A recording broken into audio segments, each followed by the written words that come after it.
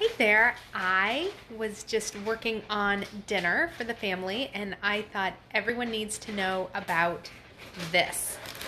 Have you heard of kohlrabi? It, this one's already been shredded up. It's called linguine.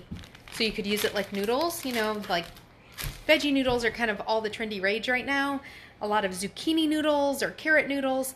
This is just another option. But I am doing it because we're having pancakes for dinner. I am doing mine. See if I can show you. Like hash browns. And it really kind of gives you a fantastic hash brown vibe. I'm loving it. It's very crunchy, but um Hey Lauralee. Thanks. um what was I saying? So yeah, it's kind of crunchy. Um tastes it's called a German um, radish, I believe. It's in the cabbage family, but it doesn't really taste like cabbage or radish, but it's kind of got that crunch.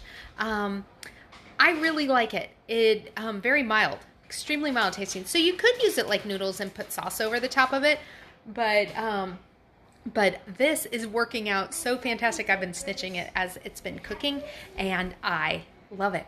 So I found this uh, because I happened to be in a different grocery store. I was at Meijer, for those of you in the Midwest, um, pretty big store, kind of like a super Walmart.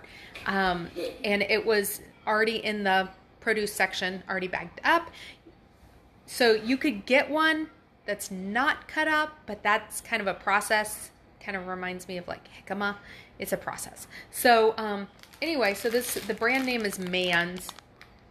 Looks like that, and so it, there's no fat, only two net carbs in the whole bag in the well per serving.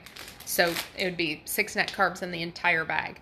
And so fantastic non-starchy veggie that you can pretend is potatoes, which I love. So go find yourself some kohlrabi and let me know what you think about it. Thanks a bunch, guys. Bye.